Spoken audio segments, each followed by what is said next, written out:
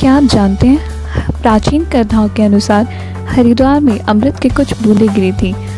हिंदू मान्यता के अनुसार यह बूंदें जिस स्थान पर गिरी थी, उस स्थान को ब्रह्म कुंड कहा गया है। ऐसा माना गया है कि यह एक बहुत ही पवित्र घाट है। इस घाट पर स्नान करने से मोक्ष की प्राप्ति होती है।